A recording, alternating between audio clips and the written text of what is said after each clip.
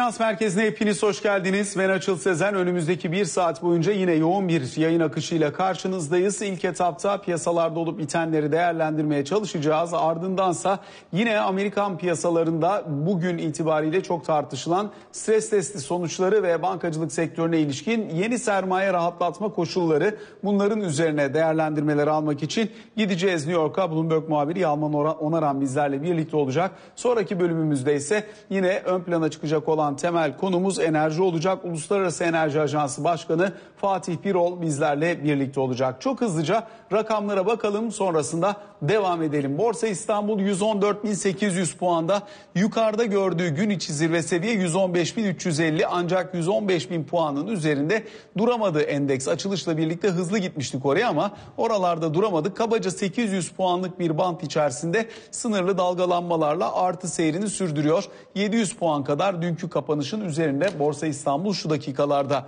Bununla birlikte yine e, yukarı yönlü hareketi iten taraf biraz daha sınai endeks onu söyleyebiliriz. Diğer yandan bankalarda da %0.5'ler civarında artılarla işlemlerin devam ettiğini gözlemliyoruz. Kur sakin aslında birkaç günden bu yana neredeyse hafta boyunca 6.85'ler civarında kalmaya devam ettik. Hemen hemen yaprak kıpırdamayan bir kur düzeyi görüyoruz şu dakikalarda. Dolayısıyla içerideki gündem nispeten biraz daha dediğimiz gibi sakin olmayı sürdürüyor. Gidelim buradan yurt dışı piyasalara. Özellikle Avrupa'da yukarı yönlü hareketler belirgin. Şu an itibariyle piyasa bir yandan artan vaka sayıları diğer taraftan gelen destekler ve avantajlar nereye kadar sürebilir? Buna dair iyimserlikle yol bulmaya çalışıyor. Avrupa endekslerinde şu anda Londra'da FTSE %1,5 yine e, Paris'te Kakaran endeksini %1,1 yukarıda görüyoruz. Frankfurt'ta DAX endeksi ise %0,4 artıda işlem görmeyi sürdürüyor. Dün pozitif ayrışmıştı DAX. Bugün biraz daha düşük getirilerle yolunu e, devam ettiriyor. Diğer yandan Amerikan vadelerine de bir hızlıca göz gezdirelim. Amerikan seansı dün kapanışa doğru artılara doğru gitmişti. Ancak şu anda orada da %0.75 Dow Jones vadelerinde 0.4 ise S&P 500 vadelerinde ekside kaldığımızı ifade etmiş olalım. Diğer yandan emtia tarafında Amerikan tipi ham petrolde geri çekilme sürüyor. 38 dolar 30 sent. Brent petrol ise 41 doların hemen altından işlem görmeye devam ediyor. Spot altının ons fiyatı ise 1759 dolar seviyesinde. Şimdi buradan gidelim iş yatırımı Halil Barışkan bizleri bekliyor. Halil özellikle endekste yukarı yönlü gitme ivmesi var ama biraz daha sıkıştı gibi de görünüyor. Yukarıda 115-116 bine yaklaştıkça satış geldiğini görüyoruz. Keza yine aşağıda da 113,5'lar tutmaya devam ediyor endeksi. E, merhaba Açıl, öncelikle iyi yayınlar. E, evet aslında e, senin de bahsettiğin gibi aşağıda 113, yukarıda 116 diyebileceğimiz bir e, bant içerisindeyiz şu an. E, bu konsolidasyon süreci aslında sağlıklı. Son özellikle ay başından itibaren bakarsak e, gelişmekte olan ülkeler endeksinden de e, pozitif ayrışmış bir e, endeksimiz mevcut. E, o nedenle bu bölgelerde hala konsolidasyona yaşanması normal. E, özellikle yurt dışı tarafında S&P'nin 200 günlük ortalamalarından tekrar toparlanıyor olması e, risk iştahını her ne kadar düzeltmiş olsa da e, şu an agresifleşecek e, çok da bir e, iştah yok. O nedenle bu konsolidasyon sürecinin e, şimdilik e, devamını bekliyoruz. E, burada tabii zaten bugün de ekstradan bir e, hacimlerin düşük olduğunu görüyoruz. Genel olarak e, hareketli tahtaların yan tahta diyebileceğimiz tahtalarda yoğunlaşmış olması endeksinde çok dar bir bantta hareket etmesine sebep oluyor. Önümüzdeki günlerde yine yurt dışı piyasalara paralel işlemlerin devam etmesini bekliyoruz. Burada birazcık daha tabii düşüşlerin sınırlı kalmasının sebeplerinden bir tanesi hala girmek için bekleyen oyuncuların e, oluyor olması. E, aynı zamanda da endeks hisselerinin zaten e, son dönem e, yine geride kalmış olması. E, biz e, endeks hisselerindeki hareketin hala daha e, devamının gelebileceğini düşünüyoruz. Ama bu süreçte yaşanan konsolidasyon e, gayet sağlıklı. Aşağıda 113 bin daha sonra da 110 bin bölgesi kırılmadıkça e, bu kısa vadeli risk iştahının kaybolmasını da beklemiyoruz. Halil Barışkan çok teşekkür ediyoruz sana aktardığın değerlendirmeler için. Şimdi Amerika'da dün olup bitenlere döneceğiz. Fed'in stres testinin düzenli olarak yaptığı stres testinin sonuçları açıklandı. Bir hatırlayalım içeriğinde neler vardı sonrasında New York'ta Yalman Onaran'la birlikte bunun detaylarını konuşacağız. ABD Merkez Bankası Fed 25 Haziran'da yıllık stres testi, duyarlılık analizi ve pandemi öncesinde tasarlanan stres testi sonuçlarını yayımladı. Fed duyarlılık analizinin Normal stres testine ek olarak büyük bankaların esnekliğini değerlendirmek için pandemiye bağlı 3 durgunluk senaryosu altında yapıldığını duyurdu. Senaryolar V ve U şeklinde durgunluk ve iyileşme ile W şeklinde çift tipli durgunluk olarak belirlendi. Teşviklerin ve genişletilmiş işsizlik sigortasının potansiyel etkilerini içermeyen 3 senaryoda işsizlik oranı %15,6 ile %19,5 arasında zirve yaptı. 34 bankanın kredi zararları 560 milyar dolarla 700 milyar dolar arasında değişti ve toplam sermaye oranları 2019'un 4. çeyreğindeki %12'den %9,5'a ila %7,7'ye geriledi. U ve W şeklindeki senaryolarda birkaç banka askeri sermaye seviyelerine yaklaştı. Fed, bu sonuçlara istinaden büyük bankaların dayanıklı kalmasını sağlamak için ABD bankacılık sektörüne yeni kısıtlamalar getirdiğini duyurdu. Fed 3. çeyrekte ise geri alımına izin verilmeyeceğini, temettü ödemelerini ikinci çeyrekte ödenen tutarla sınırlandırdığını ve bankanın son kazancına bağlı bir formüle dayalı olarak ödenmesine izin vereceğini bildirdi. Sektörün sürekli incelemeye tabi tutulacağını kaydeden Fed, bankalardan yılda bir defa aldığı sermaye planlarını her çeyrekte göndermelerini istedi. Fed'in finansal kuruluşlardan sorumlu başkan yardımcısı, bankacılık sistemi bu kriz sırasında bir güç kaynağı oldu. Duyarlılık analizlerimizin sonuçları bankalarımızın en sert şoklar karşısında bile güçlü kalabileceğini gösteriyor, dedi. Tablo böyle. Gidelim New York'a. Bloomberg muhabiri Yalman Onaran bizlerle birlikte. Yalman özellikle Fed'in attığı adım dikkate değer. Çünkü bundan belki 4 ay öncesinde kime desek Fed stres testi yapacak. Yaptığı stres testi sonucunda sermaye yeterlilik rasyoları bir anda 3-4 puan kadar gerileyecek ve Fed temettü dağıtımına kısıtlama getirecek. Herkes şaşırırdı herhalde. Evet e, yani kısıtlamalar gerçekten e, bekle, beklenmek beklem yani şu durumda bekleniyordu ama 3 ay önce kesinlikle beklenmeyen şeylerdi. Çünkü e, Fed tam tersine geriye adım atıyor. Yani yavaş yavaş çekiliyordu e, sermaye yeterliliği konusunda bankaların üzerine e, yıllardır yaptığı baskılardan. Yani yavaş yavaş artık bankalar, Amerikan bankalarının e, e, sermayeleri çok e, iyi durumda. E, kendi kararlarını verebilirler diyordu. Ama e, bu pandemik yüzünden e, ekonomiye e, vurulan e, e, damga yüzünden pandemik sayesinde e, her şey bir karmaçada. Yani e, Fed'in açıklamaları da sürekli bunun üzerine vuruyordu. Yani şu anda ekonomik durum belli değil. İyi, çok hızlı bir şekilde tekrar ekonomi toparlarsa bankalar e, sorun olmaz.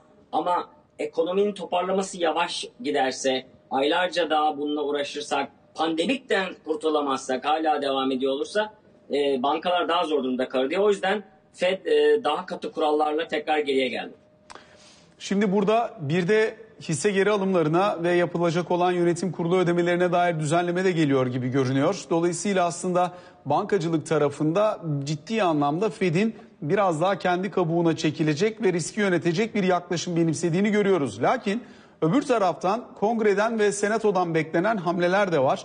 Oralardaysa özellikle bankaların sermaye yapısını rahatlatabilecek bir takım önlemler geliyor. Başta swap kanalı için ayrılmış olan karşılıkların düşürülmesi gibi sektöre 40 milyar dolar civarında ek sermaye kolaylığı sağlayabilecek bir imkan devreye alınmaya çalışılıyor. Evet, kuralların gevşetilmesi e, Trump başkan olduğundan beri devam ediyor. Hem kongreden hem e, değişik e, kuruluşlardan yani Fed de bunlara dahil ee, Fed, FDIC, OCC yani Amerikan bankalarını e, denetleyen kurumların e, çabaları artı kongre e, kuralları yumuşatıyorlar yıllardır. Yani Trump'ın başkanlığında 3 e, yıldır e, olan bir şey bu. Ama e, bunlara rağmen bunlar olurken Fed e, burada bir daha sertleşme ve katılaşma göstermek zorunda kaldı. Çünkü e, çok e, belirgin bir siyasi baskı da var. Bu siyasi baskı da yani geçen krizde, 2008 krizinde bankalar e, temettülerini dağıtmaya devam ettiler. E, hisselerini geri almaya, milyarlarca dolarlık hisse geri almaya devam ettiler. Sonra da battılar. Hepimiz gördük. Onun için siyasi baskı şu. Yani bunu e, şimdilik ara versinler. E, bu kadar büyük paralar dağıtmasınlar hissedarlarına. Eğer krizden çabuk çıkarsak sorun değil. Ondan sonra bol bol dağıtabilirler paraları. Ama şu durumda biraz daha e, önlem almak lazım sermaye e, korunulmalı diye bir baskı var. Fed de buna e, kulak kapayamadı. Peki bu ortamda bankaların genel gidişatı özellikle sorunlu alacaklar tarafındaki problemli durumu nasıl diye de sormak isterim. Burası da gözetim altında. Tabii bilanço görmediğimiz için çok net bir şey söyleyemiyoruz ama Amerika'da bunlar yüksek frekanslı kontrol edildiği için biraz fikir sahibi olabiliyoruz herhalde. Ee, yani e, sorunlu krediler e, henüz daha kredilerin sorunu ortaya çıkmadı. Çünkü e, e, bu virüs geldiği anda bir sürü önlem alındı. Bunların bir kısmı da e, herkesin borçlarının bir, bir süre ötelenmesi. Yani kanunen bile, kongre bile bunu izin verdi. 3 ay boyunca e, kimseden gerçekten borcunu ödemedi diye kimse birden e, sorunlu alacağı dönüşmüyor. Ama e, e, bu 3 ay bitecek sonra hadi bir 3 ay daha sonra yani sonuçta bankalar kredilerini geri alabilecekler mi? Bu, bunun önü çok kapalı. O yüzden ilk çeyrekte bankalar e, bilançonu açıkladıkları zaman e, çok yüksek e, rakamlarla e, kredi alacakları yani alacakların kötüye gidebilecek krediler için provizyonlar e, koydular kenara. E, bunlar bu çeyreklere devam edecek. İkinci çeyrek rakamları bir iki hafta içinde gelecek. İkinci çeyrekte de bu rakamlar büyük olacak büyük ihtimalle. Yani ama bunlar daha ne kadar uzun sürecek? Bu krediler gerçekten batacak mı? Yoksa ekonomi toparlayacak da bu kredinin bazıları devam edecek mi ödemeye? Yani bunlar çok karanlıkta sorular ve o yüzden de gerçekten bankalarda bilemiyor. E, borç alıcı, e, borçlu olanlar da bilemiyor. Yani işlerine geri dönebilecekler mi? E, 30-40 milyon e, Amerikalı işsiz kaldı bu pandemi sırasında ama e, bunlar geriye dönebilecekler mi ekonomi açılmaya başlayınca? Bunların hepsi e, belirsizlik. Yalman çok teşekkür ediyoruz sana aktardığın yorumlar için. Şimdi bizim bankaları ilgilendiren yeni bir düzenlemeyi dikkatinize sunacağız. Özellikle uzun süredir de üzerine konuşulan konulardan bir tanesiydi. Bankalar ve müşterileri arasında dijital sözleşme dönemi bugün itibariyle başlıyor. Daha doğrusu en azından yasal düzenleme bacağı bugün itibariyle devreye girmiş gibi görünüyor. Bankacılık kanununda yer alan bazı faaliyet konularıyla ilgili yapılan düzenleme sonucunda bankalar müşterileriyle yüz yüze gelmeden bir sözleşme imzalama şansına sahip olacaklar. Sadece bankalar değil aynı zamanda aracı kurumlar için de aynı şey söz konusu olacak ve yatırımcılarla birebir karşı karşıya gelmeden çeşitli sözleşmeler, yatırım hesapları açmak imkan dahilinde olabilecek. Konunun detaylarını konuşmak için Sefer Yüksel bizleri bekliyor. Sefer piyasanın uzun süredir beklediği düzenlemelerden bir tanesiydi. Sadece bankaları değil aynı zamanda GSM abonelerini, uydu yayıncılarını hemen hemen her tarafı ilgilendiren çok kritik bir düzenleme. Evet Açıl senin de bahsettiğin gibi uzun zamandır bekleniyordu sektör tarafından. Ee, bugün resmi gazetede yayınlandı. İstersen öncelikle şu ana kadar e, nasıl bir uygulama söz konusuydu? Ee, sen de az önce bahsettiğin gibi Bankalar aslında Türk bankaları bizim finansal teknoloji programında sık sık işliyoruz bu konuyu. Teknolojik anlamda, dijital anlamda dünyada çok önemli bir noktada. Ancak e, uygulama ve düzenleme kaynaklı, e, otorite kaynaklı belirli e, mevzuat eksikliğinden dolayı dijitalleşmeyi tam anlamıyla yaşayamıyorlardı. Senin az önce saydığın konularda e, müşteri ediniminde e, illaki müşteri günün sonunda gidip bankaya ıslak imza yani yüz yüze görüşmeyle e, yapmak zorundaydı. E, şimdi aslında e, bankaların bilgi sistemleri ve elektronik hizmetler hakkında bir tebliğ yayınlandı. BDDK Bilgi Sistemleri Dairesi yanlış hatırlamıyorsam Mart ayı başıydı. Aslında bu dijitalleşmenin önemli bir derecede önünü açmıştı. Ancak yine de bu yüz yüze bir araya gelmeden müşteri edinmek ve sözleşme imzalama kısmı kanun gerektiriyordu. Dolayısıyla bu kanunla birlikte önümüzdeki dönemde artık gerçek anlamda bir dijitalleşme yaşanacak bu anlamda. Peki kanunla ne değişti e, diye bakacak olursak e, açıl şimdi herhangi bir bankanın herhangi bir müşterisi, e, herhangi kimse herhangi bir e, müşteri olmak için ya da banka müşteri demek için yüze gelmeyecek. Bunu uzaktan kimlik doğrulama e, yöntemiyle yapacak. Burada biyometrik e, yöntemler e, söz konusu olacak açılı. Videoyla doğrulama, hologramla, dijital kimlikle doğrulama gibi bunun detayları önümüzdeki günlerde açıklanacak. Zaten birçok bankanın da açıkçası altyapısı da buna hazır. E, peki sadece bankalar mı? Senin de bahsettiğin gibi e, bankaların müşterileriyle olan sözleşmelerinde bu e, söz konusu olacak. E, kart hizmeti veren elektronik para kuruluşları var. Türkiye Cumhuriyet Merkez Bankası'na bağlandı bir e, bu kuruluşların müşterileri olan sözleşmeleri aracı kurumlar, portföy yönetim şirketleri, emeklilik şirketleri, leasing şirketleri, factoring şirketleri. Dolayısıyla finansal bütün kurumlar aslında bunun kapsamına alınmış durumda. Peki TOK şu anda nerede? Hani bugün e, resmi gazete yayınlandı ve uygulamaya geçecek mi? Ne zaman geçecek diye baktığımızda e, ben e, biraz taraflarla da konuştuğum bugün e, özellikle bankalarla ilgili kısımla ilgili BDDK'nın e, fintechler yani ödeme kuruluşları, e-para şirketleriyle ilgili kısımla ilgili Türkiye Cumhuriyet Merkez Bankası'nın ve aracı kurumlar ve sermaye piyasası e, birliği kurumlarıyla ilgili kısımda SPK bir düzenleme e, oyunun kuralını belirleyecek düzenleme hazırlayacaklar. BDDK bugünlerde hazırlıyor düzenlemeyi. BDDK Bilgi Sistemleri Dairesi düzenlemeyi hazırladığını öğrendik. Önümüzdeki günlerde bankalara bu düzenleme gidecek. E, bankalara e, verecekler, gönderecekler. SPK tarafına gelirse Aracı Kuruluşlar Birliği e, yanlış bilmiyorsam geçen hafta e, bir Ankara'ya gitmişti konuyla ilgili zaten. SPK ile de görüşmüştü. Dün kendi çalışma gruplarında e, değerlendirmeler yapılmış ve bugün üyelere e, görüşler, üyelerden görüşler istenmiş açıl. Konuyla ilgili üyelerden görüşler toplanacak ve SPK'ya gönderecek. SPK da üyelerden, e, birlik üyelerinden gelen görüşler doğrultusunda, e, tavsiyeler doğrultusunda bir düzenleme yapacak. E, peki e, burada şöyle bir sorun vardı açıl aslında e, şimdi kanun çıktı düzenlemeler de gelecek ama biliyorsunuz uzaktan kimlik doğrulama e, MASAK tarafında ciddi bir katkı yaratıyordu. E, çünkü Türkiye hepimizin de bildiği gibi coğrafi olarak da aslında işte aşağıda baktığımızda Suriye, Irak e, ya da işte e, diğer komşu ülkelere bak, baktığımızda bir tarafta kumar, e, yasa dışı işlemlerin, kumarların oynandığı bir yer var. Kara para aklama gibi ciddi e, para transferleri tabii ki MASAK bunları kontrol etmek istiyor.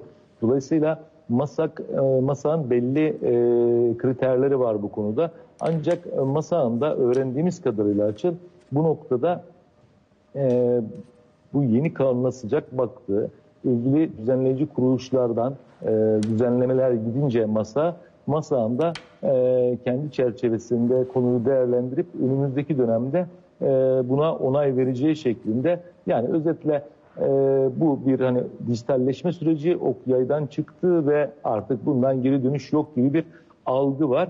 Dolayısıyla e, ne zaman bu uygulamaya geçer diye sorarsan bana benim edindiğim izlenim aslında bankaların beklentisi Eylül ayı gibiydi açıl. E, Ağustos Eylül ayı gibi bir beklentileri vardı ama benim edindiğim izlenim ve bilgi biraz daha bunun uzun sürebileceği ve 1 Ocak 2021'i bulabileceği yönünde. Tabii ki e, düzenleyici taraflar daha hızlı hareket ederse bu öne de çekilebilir. Aslında bankalar bu anlamda biraz umutlu ama otorite tarafları biraz daha temkinli konuşmayı tercih ettiler yaptığımız görüşmelerde. Dolayısıyla biz en kötü ihtimalle 1 Ocak 2021'de bu süreç başlayacak diyelim. Şimdi bu süreci ne katkı sağlayacağı noktasında da şöyle bir şey ifade edebiliriz. Mesela bir finansal kapsayıcılık konusu var. Biz her ne kadar gelişmiş dijital bir bankacılık sistemimiz var desek de yakın zamana kadar Türkiye nüfusunun sadece %60'ı aslında finansal sistemin içindeydi. Hatta şöyle bir oran vereyim sana. 5 yıl önce nüfusun %42'si finansal finansal sistemin içinde değildi. Son 5 yılda dijital tarafta, mobil bankacılık tarafında yapılan değişimler, gelişmeler biraz bu oranı %31'lere e, indirdi. Nüfusu nüfusa oranladığımızda baktığımızda ciddi bir şekilde hala 18-20 milyon kişinin aslında finansal kapsayıcılık, finansal sistemin dışında olduğu söylenebilir. E, cep telefonu, akıllı cep telefonu penetrasyonun %95 olduğunu varsayarsak Türkiye'de oranın dolayısıyla bu uzaktan müşteri edinimiyle birlikte finansal sisteme giren kişi sayısı ciddi bir artış olacak. Ee, özellikle ticari tarafta kurumların e, en ufak işletmeden büyük işletmeye kadar e, belli sözleşmelerde her seferinde bankaya gidip imza atması gerekliliğini ortadan kalktığını da düşünürse aslında hem iş yapış şekillerinde ciddi bir hızlanma olacak, zamandan ciddi bir kazanım, maliyet avantajı ve finansal sisteme ciddi bir katkı sağlanacak kapsayıcılık anlamında. Aracı kurumlar tarafına baktığımızda, sermaye piyasası tarafına baktığımızda da senin de bildiğin gibi yakın zamanda 350 bin e, yeni yatırımcı var e, borsa tarafında. Bu işlemle birlikte eğer uzaktan müşterinin faaliyete geçmesiyle birlikte bu rakam daha da artacak. E, sermaye piyasalarına daha fazla küçük yatırımcı, bireysel yatırımcı daha doğrusu gelecek diye bekleniyor açık. Çok teşekkür ediyoruz sana Sefer aktardığın bu notlar ve yorumlar için. Şimdi gidiyoruz Londra'ya. Ceren Dilekçi bizleri bekliyor orada. Ceren özellikle bugün itibariyle İngiltere'nin de gündemindeki önemli konulardan bir tanesi Huawei ve Huawei ürünlerinin 5G teknolojisi içerisinde ne kadar kullanılıp kullanılmayacağı. Bu konuda Amerika Birleşik Devletleri'nin İngiltere'ye çok ciddi bir baskı yaptığını biliyoruz. Nedir şu an itibariyle son durum? Açıl Huawei'in 5G ağına karşı ABD giderek elini güçlendiriyor. Zaten İngiltere bir süredir Huawei'ye karşı alternatif arayışındaydı ve arayışını sürdürüyor. Diğer taraftan dün Danimarka ve Singapur'da telefon operatörleri telekomünikasyon ağları için diğer sağlayıcıları tercih ettiğini duyurdular. Almanya ve Fransa ise pozisyonunu yeniden değerlendiriyor. Aynı zamanda dün Ericsson CEO'sundan yeni bir açıklama geldi. Çünkü Ericsson CEO'su Sky News'a yaptığı açıklamada şu anda İngiltere'nin 5G ağında kullanılan tüm Huawei ekipmanlarını Ericsson ile değiştirebileceklerini söyledi. Zaten Trump bir süredir baskısını artırmıştı özellikle İngiltere ve Avrupa üzerindeki fakat ikna etmekte zorlanıyordu. Fakat son gelen haberler aslında Huawei'ye karşı Ericsson ile Nokia'nın elini güçlendirdiğini bize gösteriyor. Ee, diğer taraftan Avrupa borsalarındaki fiyatlamalara bakacak olursak bugün endekslerde iyimserlik hakim. Her ne kadar dünya genelinde vaka sayılarındaki artış gözlense de özellikle ABD cephesinde e, Avrupa borsalarına bunu sirayet etmediğini ve endekslerde iyimserliğin olduğunu söyleyebiliriz. Bugün Avrupa Merkez Bankası Başkanı Lagarde'dan gelen açıklamaları takip ettik ve Lagarde Euro bölgesinde krizde dip noktasının muhtemelen geride kaldığını söyledi. Fakat salgında ikinci dalga ihtimaline karşı biraz daha temkinli bir duruş sergilediğini söyledi. Yani aslında ekonomideki toparlanma beklentileri tamamen ikinci dalga senaryosuna bağlanmış durumda açıl. Avrupa'nın gündeminde öne çıkan noktaları paylaştım. Yeniden söz sana bırakıyorum. Ceren teşekkür ediyoruz. Kısa bir araya gideceğiz şimdi. Sonrasında kaldığımız yerden devam edeceğiz.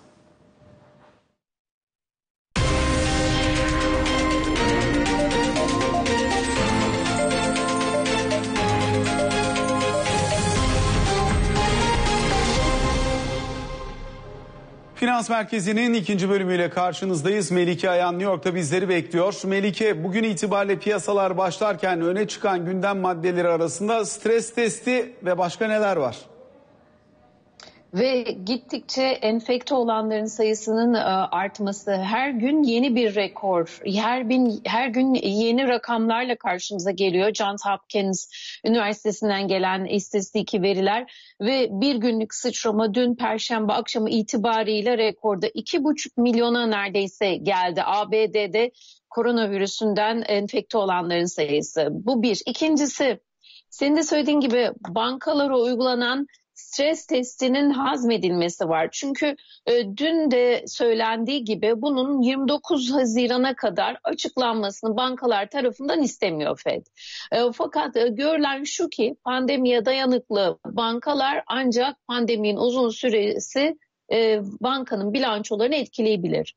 E, bu kötü olan kısmı ama iyi olan kısmı şimdi bu FED e, banka stres testinin sonucunda Volcker kurallarını gevşetiyorlar ve yatırım yapmada türevleriyle ilgili regülasyonlarda bankalar daha rahat olacaklar. Bu bankacılık sektörünü dün yukarı çıkarmıştı. Fakat bunların ne olacağına dair tabii ki detaylar bekleniyor ve banka stres testlerinin detaylarının çok da iyi olmadığı düşünülüyor. İşte bütün bunlar e, hisseleri aşağıya doğru biraz daha çekerken biz bir yandan da e, Lagarde'ın e, IMF e, başkan sözlerine kulak veriyoruz. Pandeminin en kötüsünün geçtiğini, ikinci dalganın gelebileceğini ancak bunun e, şimdi itibariyle kontrol altına alındığını söylüyor. Avrupa tarafından ve Avrupa'nın gayri saf milasası e, IMF tarafından 2028.7, 2021 5.2, 2022'de de 3.3'lere e, çekilmişti. ABD bakalım ekonomik veriler neler?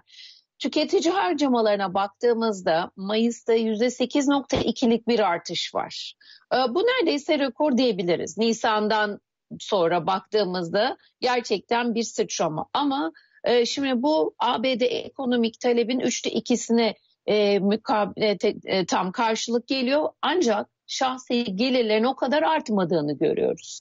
İşte bütün bunlarla birlikte ABD borsaları karışık bir yerde bugün ve hangi hisseler gündemde? Nike hissesi yukarı çıkıyor, kendi yukarı çıkarıyor, görünümünü yukarı çıkardığı için.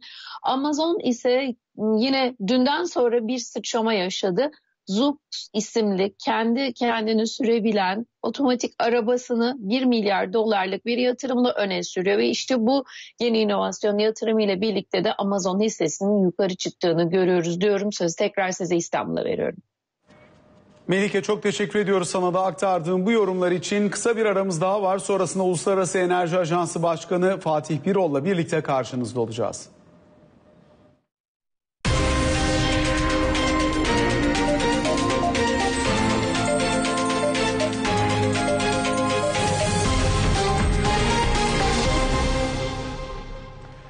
Finans Merkezi'nin son bölümüyle karşınızdayız. Önemli bir konu ağırlıyoruz. Bu bölümde Uluslararası Enerji Ajansı Başkanı Doktor Fatih Birol bizlerle birlikte. Fatih Bey hoş geldiniz yayınımıza. Hoş bulduk Açıl Bey. İyi günler. Şimdi e, sizinle son yaptığımız yayın bundan yaklaşık 2-2,5 ay kadar evvel. Dolayısıyla o dönemde siz beklentilerinizi yeni açıklamıştınız. Bekle, e, beklentileriniz aslında dünya ekonomilerinde çok ciddi bir daralma, Beraberinde de petrol tarafında ciddi bir talep düşüşüne işaret ediyordu. Nisan'da 29, Mayıs'ta 26, Haziran'da 15 milyon varil kadar. Dolayısıyla şu an geldiğimiz noktada bu tahminlerin ne kadarının nasıl gerçekleştiğini görüyorsunuz? Sizle konuştuğumuz zaman e, şunu söylemiştim. E, Nisan ayının başında esasında bunu açıklamıştım. E, Nisan ayı e, dünya e, petrol endüstrisi için e, Kara Nisan olarak tarihe geçebilir diye e, konuşmuştuk. Gerçekten de Nisan ayında e, ilk defa tarihte e, dünya petrol fiyatları eksi, negatif e, duruma geldi. Ama ondan sonra gene beklentilerimizle e, e, paralel olarak dünya petrol piyasalarında bir toparlanma görüyoruz. Bunun da üç tane ana nedeni var.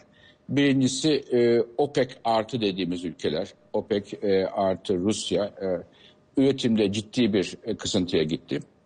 E, hükümetlerin kararı olarak. İkincisi OPEC dışındaki üretici ülkeler, büyük üretici ülkeler, e, Amerika gibi, Kanada gibi ülkelerde fiyatların düşük olmasından neler üretimde de orada da düşüş oldu.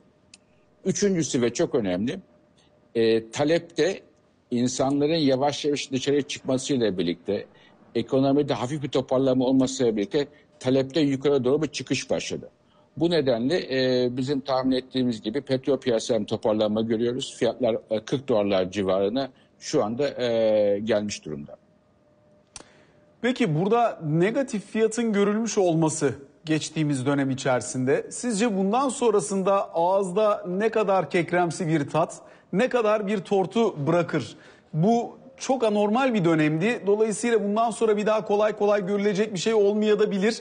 Ama ne dersiniz? Şimdi e, fiyatların sadece negatifi görmesi değil, uzun bir süre çok düşük seviyelerde seyretmesi, 5 dolarlar, 10 dolarlar, 15 dolar şeklinde seyretmesi dünya petrol sektörüne e, e, çok ciddi bir darbe vurdu. Hem petrol şirketlerine hem de ekonomisi petrole bağımlı olan ülkelerde. Yani e, Suudi Arabistan gibi, Rusya gibi, Irak e, e, gibi, Cezayir gibi ülkelerin e, e, e, ekonomilerine büyük darbe vurdu. Bunun neticesinde petrol endüstrisinde ciddi iki tane trend görüyoruz. Birincisi yatırımlarda çok büyük bir kısıntı var. Özellikle Amerikan e, kaya petrolünde ama sadece orada değil. Bütün petrol sektöründe yatırımlarda büyük bir kısıntı var. İkincisi de e, ciddi anlamda e, e, işten çıkarmalar var. Yani dalgalar şeklinde petrol şirketleri e, e, mühendislerini, işçilerini binlerce kişi şu anda işsiz kalmış durumda.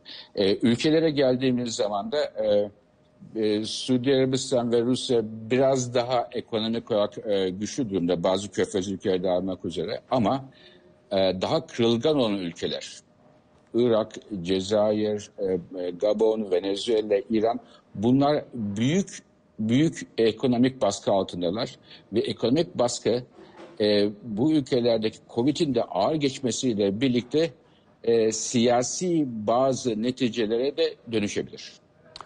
Peki burada tabii e, belki sorulması gereken en kritik sorulardan biri bu. Bir yandan bir toparlama eğilimi var. Ekonomiler açıldıkça talep de belli bir noktada geri gelmeye başlıyor gibi görünüyor. Fakat bir yandan da virüs sayısında inanılmaz artışlar var. Başta Amerika olmak üzere rekor sayılara doğru geldi. Şimdi bir ikinci dalga gelirse o zaman öngörüler ne olur? Ee, şimdi Açıl Bey esasında önümüzdeki 6 aya baktığımız zaman ben enerji sektöründe hatta belki enerji sektöründe ekonomide genelde baktığımız zaman 3 tane çok büyük e, belirsizlik görüyorum. Yani 3 tane önemli kritik belirsizlik. Bunlardan bir tanesi ikinci dalga gelecek mi gelmeyecek mi? Bu bir. İkincisi ekonomik toparlanmanın e, e, seyri nasıl olacak? Hızlı bir e, toparlanma mı? Yavaş bir toparlanma mı? Yoksa 2021'i toparlanmadan mı geçeceğiz? 2022 toparlanacağız. Bu ikincisi. Üçüncüsü de e, Kas, e, Kasım ayında e, ABD'de, Amerika'da e, önemli bir seçim var. Bu seçimin sonuçları ne olacak? Bu da e, enerji sektörünü belki de e, ekonomiyi etkileyecek. Yani bir tane e, tıbbi bir belirsizlik diyelim. İkincisi ekonomik bir belirsizlik. Üçüncüsü de e, siyasi bir belirsizlik.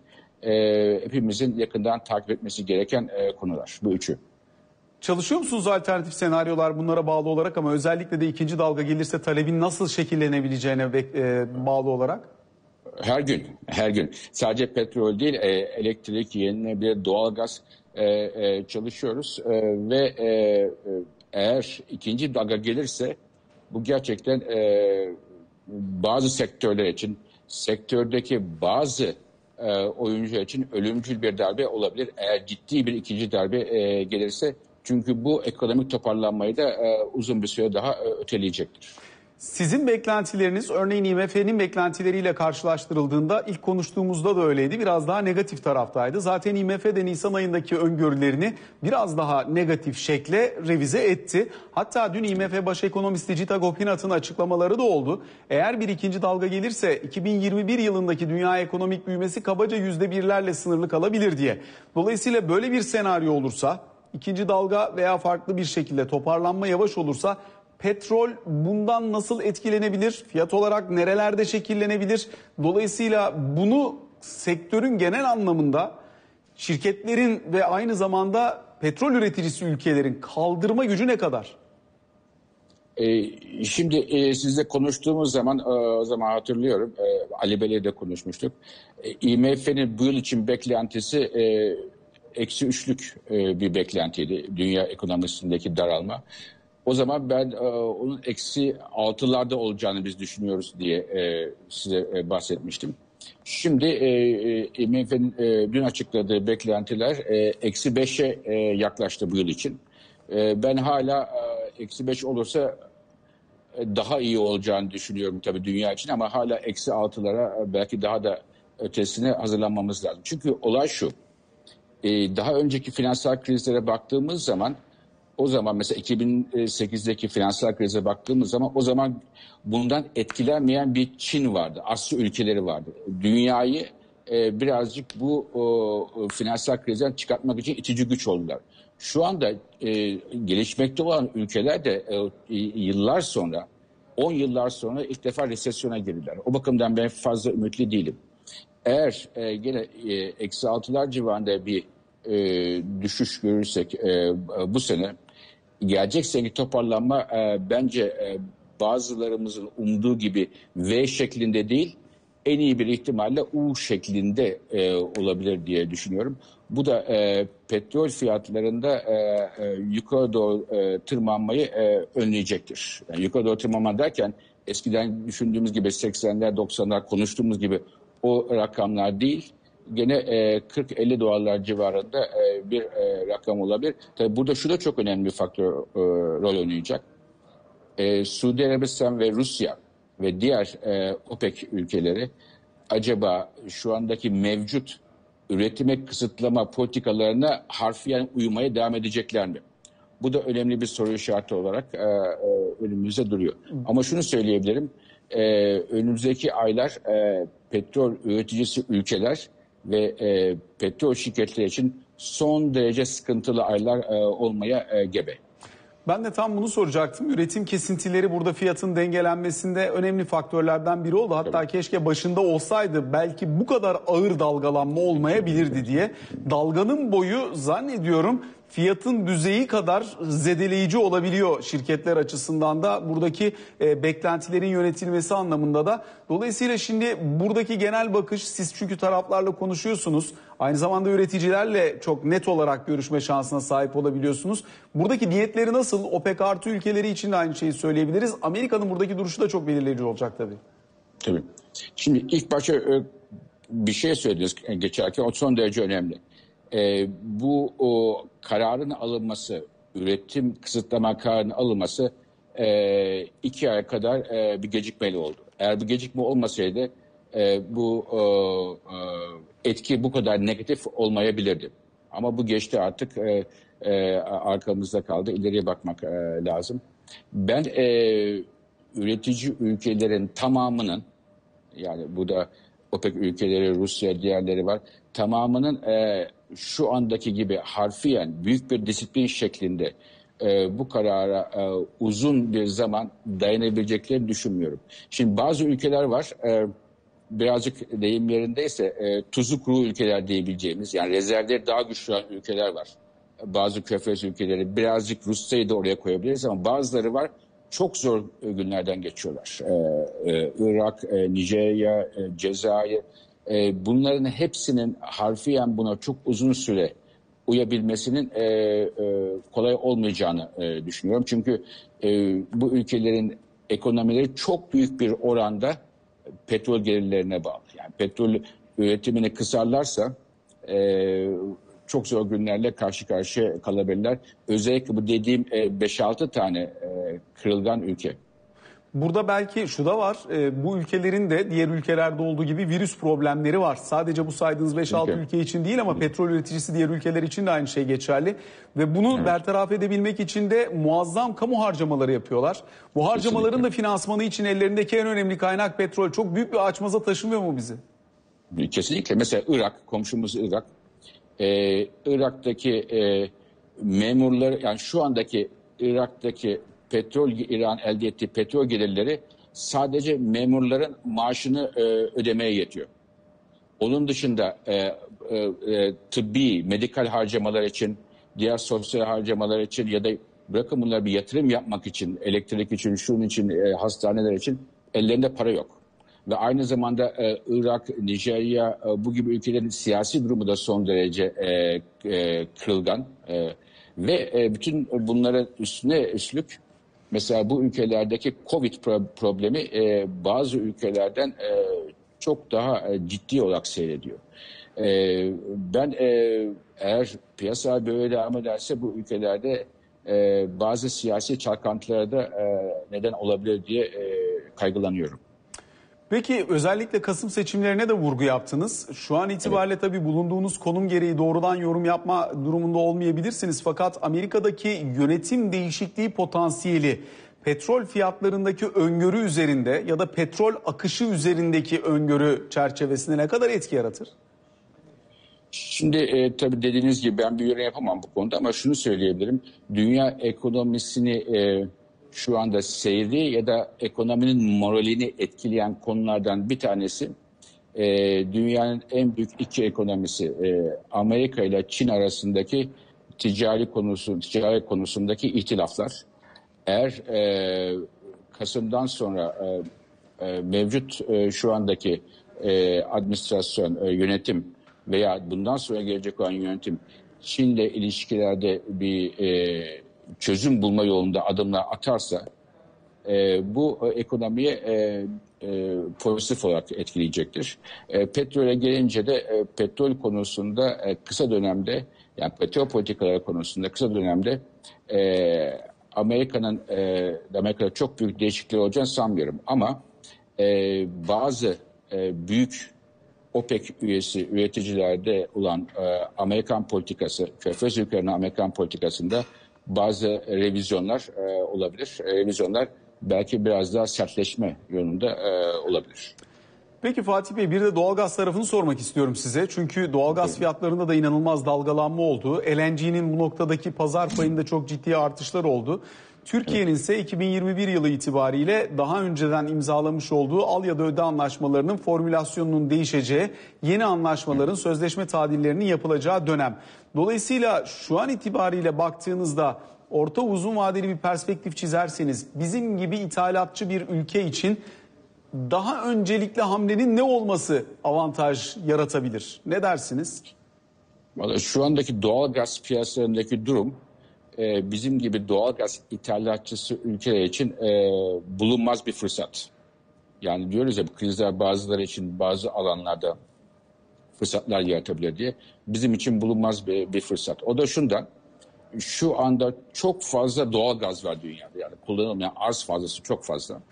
Ve e, ülkeler, e, e, doğal gaz ihracatçısı ülkeler birbirleriyle yarışıyorlar ki ben önce satayım sen önce satasın. E, herkes müşteri bulma e, e, kaygısı içerisinde. Ve e, belki e, takip ettiniz e, Avrupa'daki doğal gaz fiyatları e, 1 euronun altına düştü. Yani hatta orada da eksi görülebilir mi gelemez mi diye bir şey oldu. Bunun e, en büyük nedeni tabii Covid ve Covid'e bağlı olan gelişmeler. Bir de e, şeyin e, havaların e, beklenenden sıcak geçmesi e, geçmiş aylarda doğal gaz olan talebi e, çok ciddi düşürdü. Şu anda doğal gaz talebi bu yıl itibariyle İkinci Dünya e, Savaşı'ndan e, beri gördüğümüz en büyük düşüşü yaşadı. Bu da tabii büyük bir arz fazlası doğurdu. O da e, bizim gibi ülkeler için özellikle bizim elimizde e, çok güzel bir şans var. E, sizin de belirttiğiniz gibi 2021'de e, bu o, o, mevcut anlaşmayı yeniden müzakere edeceğiz. E, e, eminim ki e, e, ülkemizin yetkilileri bu şansı e, en iyi şekilde kullanıp e, o müzakerelerdeki fiyatları e, lehimize e, ciddi anlamda e, revize edeceklerdir. Bütün dünyadaki başka ülkelerde e, şu anda gördüğümüz gibi. Fatih Bey çok çok teşekkür ediyoruz. Kıymetli görüşlerinizi bizlerle paylaştığınız için bugün diyelim ve böylelikle bugün Finans Merkezi'ne de son noktayı koymuş olalım. Kısa bir aramız var sonrasında Gözde Kuyumcu kapanışa doğruyla karşınızda olacak. Hoşçakalın.